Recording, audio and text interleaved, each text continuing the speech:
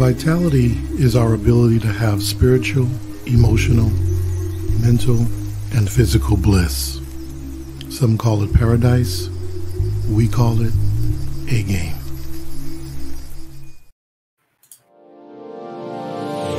Hey, all my Crimsonites, and welcome to the Crimson Cure channel, where we embrace our femininity, increase our womanly value, and celebrate our brothers. So join me on our feminine journey to learn, heal, and grow.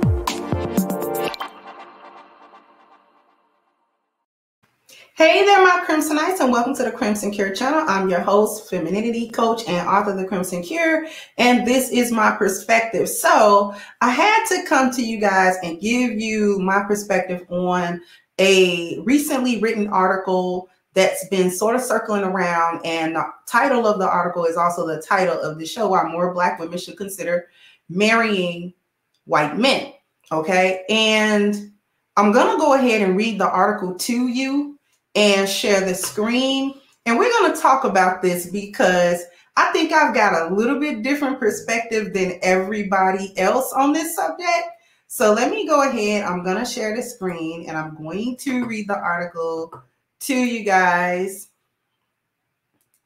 so we can all be on one accord about this article. Okay, why more Black women should consider marrying white men. And this is written by Ralph Richard Banks. And we're going to get into who that is in just a moment.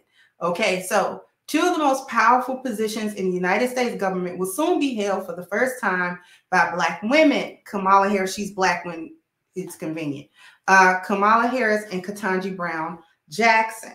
Okay.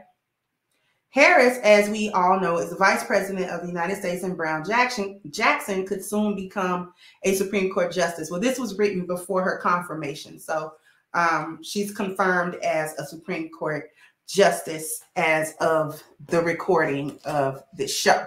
Uh, but Harris and Brown Jackson also share a personal attribute that is equally noteworthy. Each has a white husband. This fact is significant. The effects of racism have left well educated Black women with a paucity of Black male partners. According to Brookings Institute data, Black men are less likely than Black women to have completed high school and 50% less likely to have uh, attained a four year college degree. Um, now, these stats are real not stats. Um, that that rate about high school and that's not true. But anyway i'm not even really going to focus on the stats. Let's let's finish. Yet despite the shortage of suitable black partners black women have also been the least likely of any minority group to marry outside of their race according to data from the pew research center. Now this part is true but it's, it's a half truth because he doesn't say why um, black women are least desired and they are least to get married. This would uh, this would uh, uh, this would indicate or insinuate that black women overall have race loyalty and they actually don't. Okay, but anyway, rather than partner with men of other races, many heterosexual black women either don't marry or marry black men with whom they are not especially well matched. And these mismatched relationships contribute to African Americans having the highest divorce rate of any racial group. In fact, Black women are the only demographic to have a higher divorce rate than marriage rate, and they initiate them. But anyway, a bit more than a decade ago, I published a book, Is Marriage for White People? And we're actually going to get into the synopsis for that book uh, that examined the decline in marriage across American society and especially among African Americans, and focus in particular on the predicament of Black women. The book raises the possibility that Black women like Harris and Brown Jackson would do well to open themselves to partnering with men who are not Black. After all, Black men appear to have no problem marrying out. That same Pew report revealed they are twice as likely as Black women to have a non Black spouse, which may be true, but again, that insinuates that there's far that that that Black men are uh, marrying out at this high percentage, and they actually aren't. It's not difficult to date out or marry out twice as likely than black women because nobody really wants black women. Um, but it still remains a good 80% of black men who are married are married to black women. So this is also misleading. But anyway, my book generated considerable controversy and exposed fissures within Black America. While younger people appear more open to interracial relationships, A black woman old enough to be my mother made a point of telling me that I was a disgrace to my race. But the most significant fissure was between black men and women. While some black women were made uncomfortable by the book and the way it put them in the spotlight, many others embraced its message of empowerment.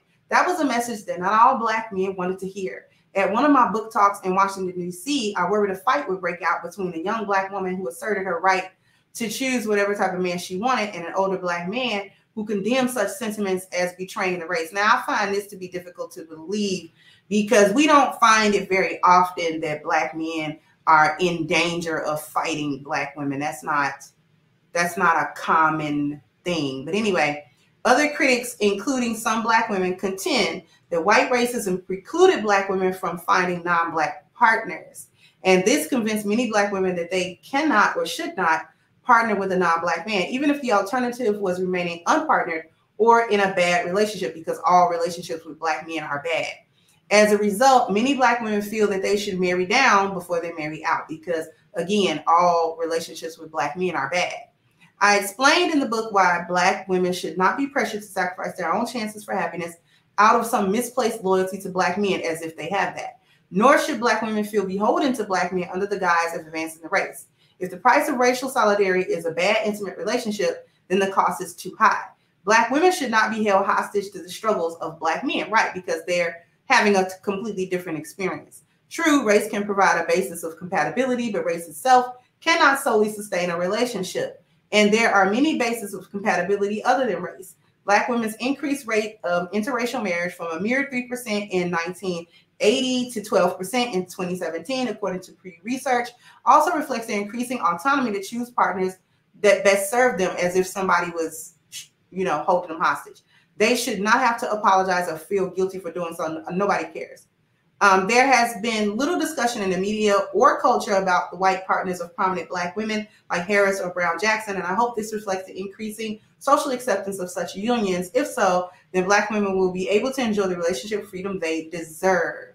Okay. Now, who is Ralph Richard Banks? You can see he, he's the Jackson Eli Reynolds Professor of Law at Stanford Law School, right? And co founder and faculty director of the Stanford Center for Racial Justice. That is who he is professionally. I actually looked him up and uh, he's married to a lady named Jennifer Eberhardt because I was very curious as to whether or not he had a spouse and who his spouse was. And you would think that a woman by the name of Jennifer Eberhardt would be a Becky, and she's not. She's a black woman. She's not a she's not an exotic black woman. She's not a mixed black woman. She's not a biracial black. She's a black woman. Okay, look her up. Just look it up.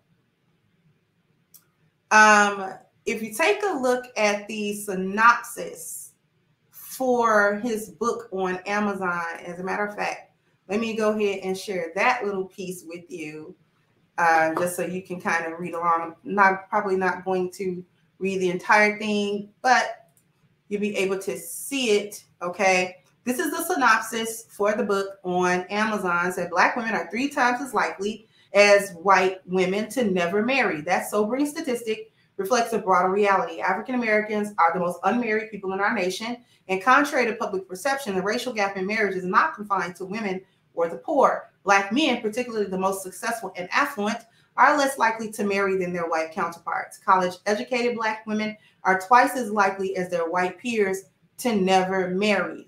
So here you have an admission that there are upper crust Black men, right?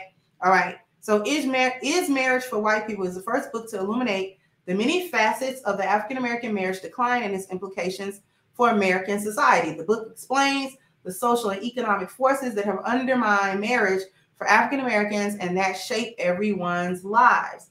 It distills the best available research to trace the Black marriage declines, far reaching consequences, including the disproportionate likelihood of abortions, uh, STDs, single parenthood, same sex relationships, polygamous relationships, and celibacy among Black women. Now, how is the lack of marriage only one way affecting Black women?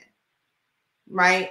Because if Black people in general are uh, not getting married to a high degree, this would affect the men, no? Okay. This book centers on the experiences not of men or the poor, but of those Black women who have surged ahead, even as Black men have fallen behind.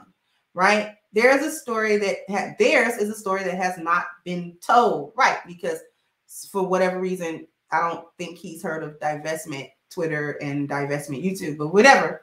Uh, empirical evidence documents its social significance, but its meaning emerges through stories drawn from the lives of women across the nation. Okay. Uh, is marriage for white people frames the stark predicament that millions of black women now face, marry down or marry out. At the core of the inquiry is a paradox substantiated by evidence and experience alike. Excuse me. If more black women married white men, then more black men and women would marry each other. That that doesn't make sense. But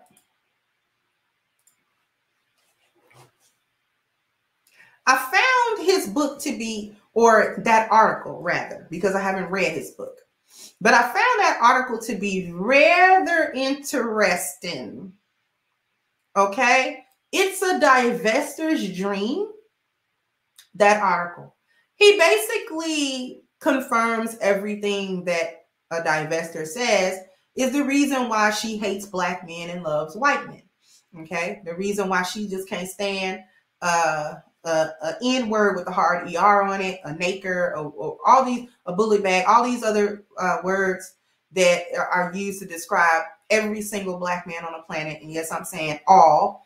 Divestors feel like it's all, so so it's all. Um, even the ones they raise and birth that they say they shouldn't be birthing anymore.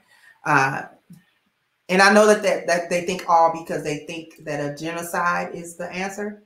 Um, but in any case, I found that the article was super interesting because it's almost like he wants y'all to go marry white men.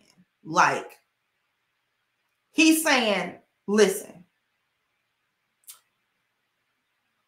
First of all, the information in it is misleading. It's full of a bunch of half truths without context and the not graduating, the this or that.